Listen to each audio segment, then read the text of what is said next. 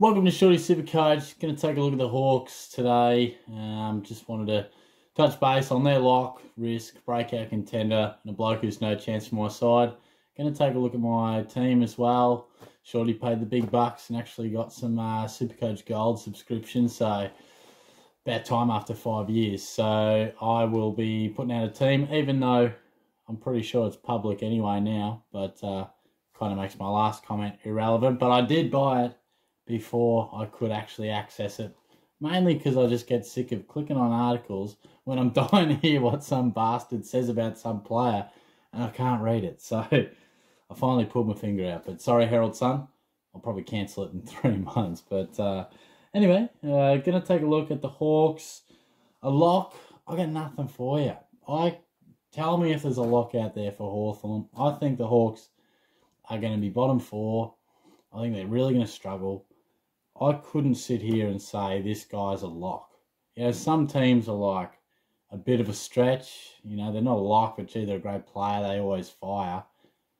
I couldn't pick anyone, to be honest. But if you've got one, let me know.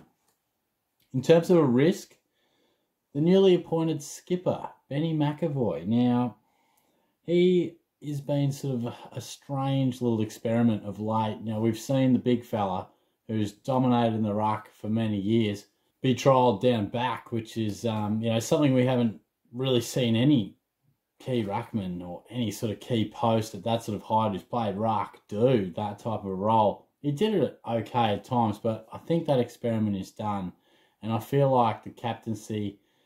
I really feel as if he's just going to go back to his rucking capabilities. I don't see like him experimenting with that any longer. I feel as if he's just simply too slow. At times he would intercept Mark quite well, but I don't think we're going to see him there. Obviously, if we do see him back in the ruck, maybe we've got something to think about. When he was doing that, he averaged 90 plus for three years in a row 2017, 2018, 2019, I believe it was. And one of those was a triple figure. You know, he was averaging in the hundreds. So, yeah, he's a bit older now, but he is relatively cheap if we feel like he can get a fair bit of the load of the ruck.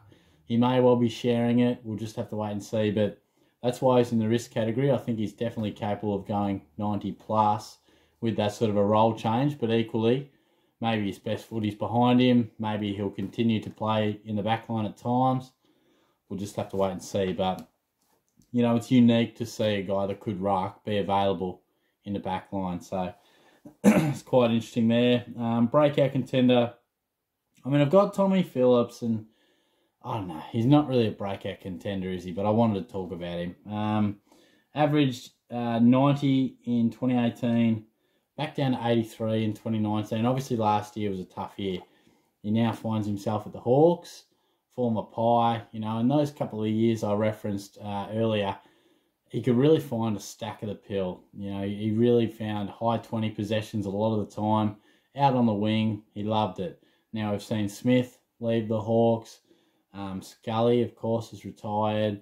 You know, Phillips is the man. He's the guy to really take on that predominant ring wing role. But I'm not going to endorse him. I just don't think I don't think he's cheap enough for what he may or may not do. I just feel as if a wingman in a really poor side doesn't always thrive in terms of super coach. And it's just a bit awkward for me. Unless we see some amazing footy from him through pre season, I couldn't see myself going with him. But I understand the interest because he's a guy that just racks the ball up. But he's not he's not always the most effective player by foot. Finds a lot of the ball, isn't always super effective, but he just he keeps working, keeps finding it. It's it's got to be a no from me, but he is a chance to find himself back in those numbers where he's a bit higher up. But let's not kid ourselves. He's never really averaged too much more than 90. I think that average was 90.1. So it's not as if we should really get carried away with um, anything too crazy in his scoring ability. One I wanted to mention is Jack Scrimshaw. Now, of course, the main talking point for the Hawks is probably who's going to replace that James Sicily role while he misses the majority of the year. Now, intercepting defender, who's going to step up? And there were some small signs late in the year where Scrimshaw scored a couple of 90s, turned up a couple of times. I just wonder if he, he could be that guy. Maybe not intercepting as much as Sicily did, but he's a really nice kick. I think he's the sort of guy that, you know, is just sort of finding his feet now. He is still young. He's had a lot of injuries, changed of club in his short career. I just wonder. He averaged 74.4 last year. It wouldn't shock me if he boosted that into the high 80s and maybe into the 90s. It wouldn't shock me, but I couldn't sit here and say this is a bloke you've got to have high on your radar. You know, definitely consider him.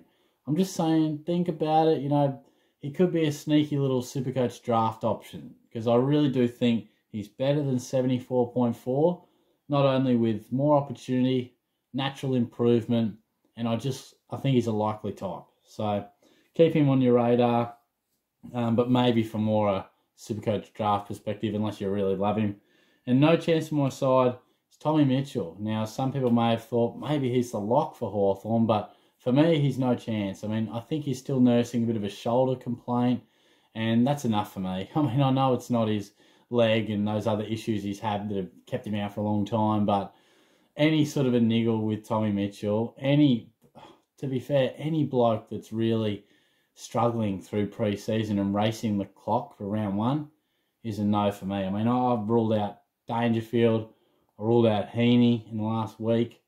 You know, they, they've just got to show you so much more. You just can't have them in your sides at the moment because they're struggling. They're not having good pre-seasons and they cost a bloody lot of money. So Tommy Mitchell, injury history, and I just don't know if we can we can start with the guy. I, I really like him as an option, but to start with him, I'm just not so sure. But if you're a real Tommy Mitchell fan, just keep an eye on him. But look, there's nothing too sexy about the Hawks this year. And as a Cats fan, I love saying that because I've been waiting a long time to see them suck. And uh, sorry to any Hawks fans out there, don't unsubscribe. But it's just a natural sort of rivalry, and they might stick it right up me. They might come out and actually play some good footy. But uh, probably the first time in a long time I haven't mentioned Chad Wingard in a preview. Maybe he gets a midfield time. I say that every year, but maybe, maybe he will. We'll wait and see. But uh, thanks for tuning in. I'll catch you soon. Cheers.